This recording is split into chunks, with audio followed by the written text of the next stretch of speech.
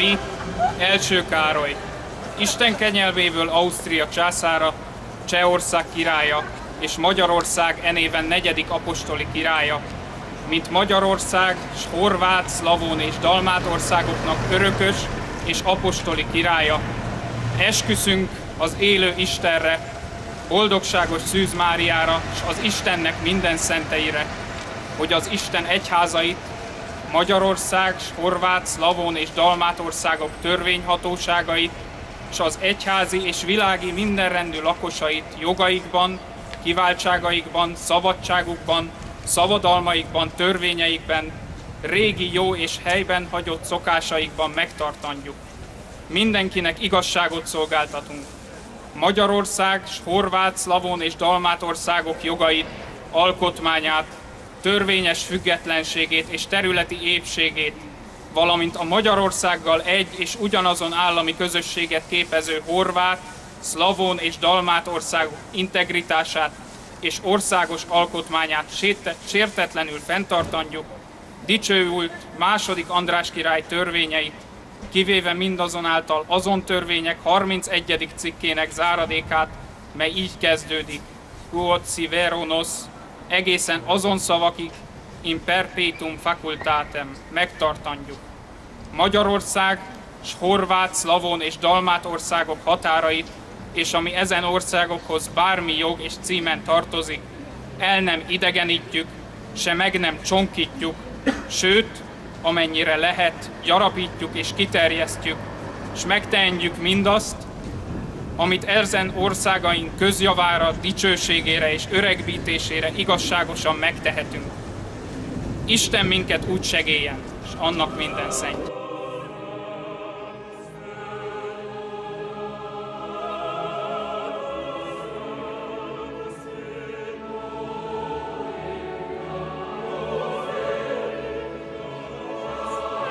Dömötör György a koronázásról. És zeng az ének, mely az égig ér fel, mindenfelé, hol magyar tűzhely áll, ma lép a trónra drága hitvesével, negyedik Károly, a magyar király. Jer szent királyaink lángoló hitével, foglaljad el az ős királyi trónt, ápolt hitünk, mely ezred évig ér el, se honnak mindig sziklavára volt. Apostol légy, mint Szent István király volt, hős és lovag, mint Szent László király, és meghódítod majd az egész világot, túlszel híred a hon határinál. Magyar míg él, ős Budánk, amíg áll, ma szívvel, ajkal, vérünkkel kiáltjuk, sokáig éljen a magyar király. Ma van 95 éve, hogy Magyarország negyedik Károlyt királyá koronázta Szent István koronájával 1916. december 30-án. Mi olmos és súlyos volt ezen az utolsó koronázáson a koronázó templom körül messziségbe vesző látóhatár. Négy front a négy égtáj felé. A frontokon a Schulter am Schulter rettentő vérpatakjai, s a véres és villámló földrengésben, ennek távolról nézett történetében a legnagyobb szerű jelenetek egyike, ez a király koronázás a vulkánná változott Európa kellős közepén. A koronázó székesegyháznak évszázadoktól és történelmi emlékektől sötétlő falai között villant fel a koronafénye. Egyetlen pillanat. Magányos és elvesző tündöklés az Európát eltakaró ágyúfüstben, de ezt a villanást egy nemzet állotta körül, és ezer év. Ez a pillanat több volt, mint a súlyos és dekoratív epizód, Gyertyalángok aranyvölös dárdái, viola színű főpapi talárok, felszentelt olaj, királyi aranypalást és hermelin pompája. Az ódon és sápat aranykorona, a megyszínű díszmagyarok és aranysarkantjuk között. Több volt. Egy nemzet életének misztikus pillanata. A fiatal és gondterhelt homlok, amikor a koronadiadémia érte, elválaszthatatlanul egy élet azzal, amit ez a korona jelentett. Az ezer éves országgal, annak földjével, hegyeivel, vizével és embereivel. Tíz évszázad kegyetlen és felemelő súlyával. Mindezeket ez a drága köves régi aranyabroncs font a titokzatos koszorúba.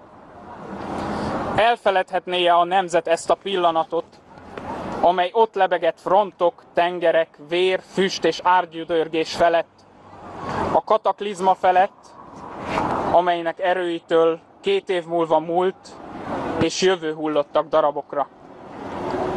De akkor még a koronázás pillanatában a misztikus abroncs körülfutotta a frontokat, amelyeknek lövészárkaiban a Szent Istváni korona népeinek ezredei és osztagai feküdtek. Varázslata ott lebegett a 42-es ágyuktól rongyálőtt frandriai felhők alatt, az Alpok kőgörgetegei felett, a Szármát síkságon és a sötét balkáni hegyekben.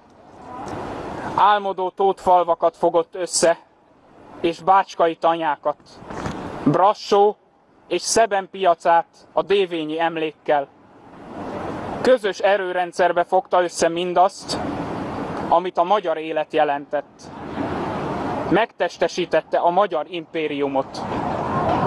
Ne titkoljuk, és ez ezer éves büszkeségünk, hogy a mi nemzetünk életformája, a mi társadalmunknak létfeltétele volt ez a világviszonylatban tán szűk és kicsi, de számunkra életünk és erőnk határait jelentő Kárpátok közti és Dunavölgyi impérium, és ennek az impériumnak a magyar korona volt nem a szimbóluma, hanem a megtestesítője. A szimbólum lényegesen kevesebb, mint az, amit Szent István koronája jelent. Ez a korona több jelvénynél. Örök életűnek tetsző, félelmetes és misztikus személyiség, akinek azonban élő emberre van szüksége, hogy azon keresztül megelevenedjék és aktív erővé váljon. A más megoldásokat kereső hasztalan kísérletek csak fokozzák ezt a sugárzást, amely oly testetlen és átható, akár a röntgenfény izzása. A jövőképeit ennek ányvetítése rajzolja ki, és a jövő kérdéseit a magyarságnak és Szent István népeinek összes társadalmi és politikai problémáit, a Dunavölgyi tér feldultságát és fájdalmát mégiscsak azt fogja megoldani, hogy a nemzetnek és koronájának újra lesz hordozója, a törvényes örökös, Isten kegyelméből és a nemzet akaratából.